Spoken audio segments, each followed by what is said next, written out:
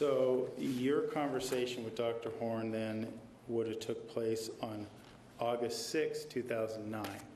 Yes, Okay. And you were in court for his testimony, correct? I don't recall if I was or not. Okay.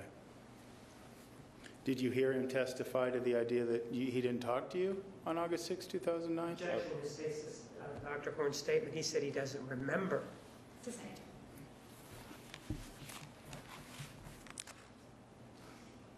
All right, so your testimony was that you spoke to Dr. Horn one day before you gave this testimony? Are you talking about this testimony here? Yes. It- Not testimony today, but testimony here. Yes, sir.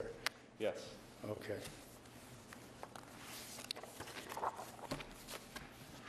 And in that testimony, you were asked about the sequencing of injuries according to Dr. Horn. Is that correct? yes, I was. Okay. Um, And you were asked about, in terms of sequencing, which came first? Which wound came first, correct? Yes.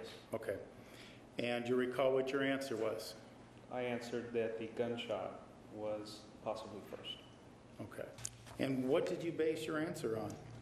Well, I'd spoken to Dr. Horn the day before over the phone on a short conversation, knowing that I was having a hearing uh, on this matter, and uh, discussed mainly uh, what kind of pain the victim would have gone through at that time, if um, the, the victim had suffered at that time, uh, those kinds of questions. Okay. And during that, we kind of discussed some other things, and one of them was uh, very briefly the sequencing. Okay. You say very briefly, but this would, this would be important if you're giving sworn testimony in court, right? The sequencing was not that important in this, in this case at that time.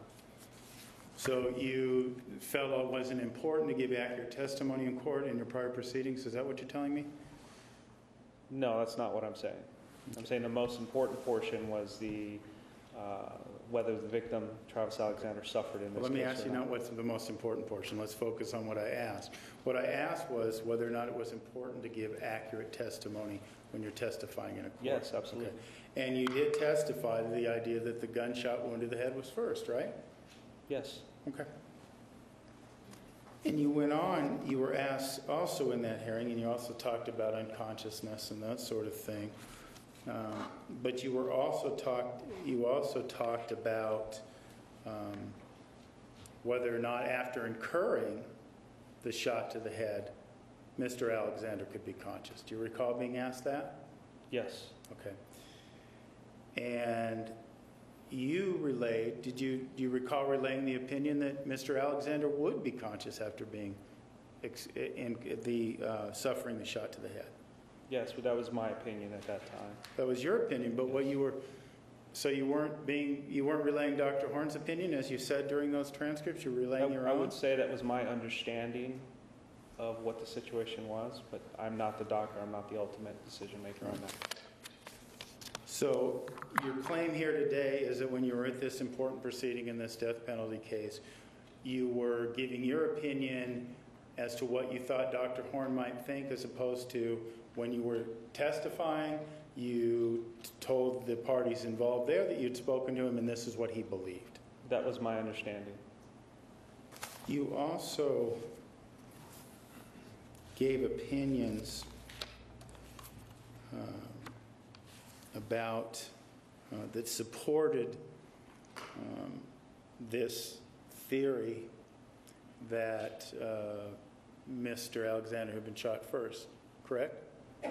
Yes, I do recall that. Okay. I mean, specifically, you talked about uh, that he aspirated blood over the sink, correct? Yes, I do Okay. remember that. And what does that mean? Aspirated blood means uh, blood being aspirated through the mouth and through the nose and onto an object such as the sink or the mirror in this case. Okay. So, now you said, oh, it was your, it was your uh, misunderstanding of Dr. Horn's testimony and that sort of thing.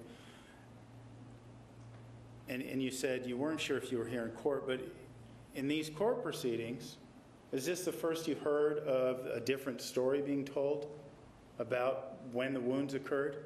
No. You've heard about it before? Yes, uh, during Dr. Horn's testimony. Okay. I Okay, thought you were talking about another testimony Dr. Horn gave, but I was here during his testimony the other day. okay. So during this trial, Dr. Horn's testimony, you were here, right? Yes, I was. Okay, I want to be accurate this time. And you heard him testify then that he hadn't spoken with you the day before the hearing, correct? Objection to Stacy's testimony, he said he didn't know. Sustained.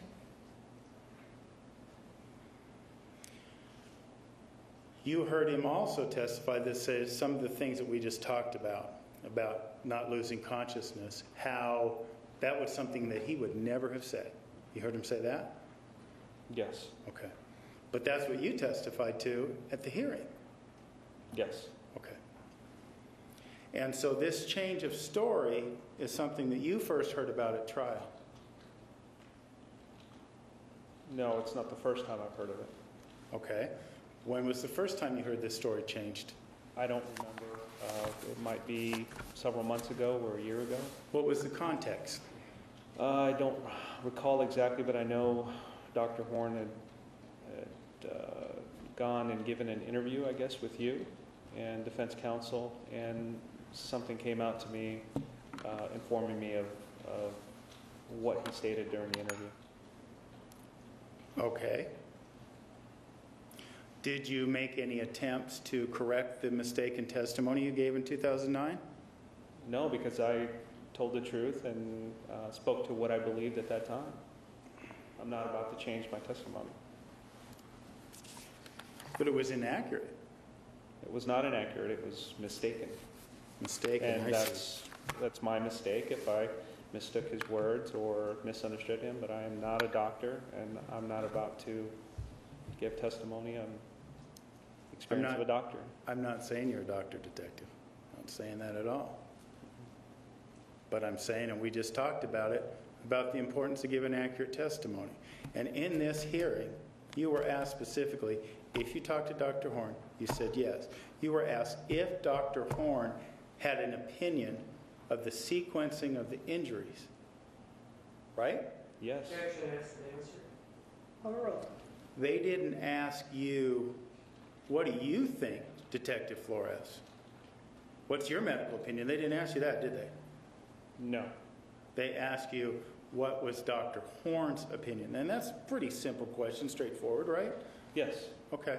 And so what you're telling us today is that you substituted your judgment for his? Is, is that what I'm hearing you say? no. If I gave that testimony, it was a misunderstanding of what Dr. Horn told me.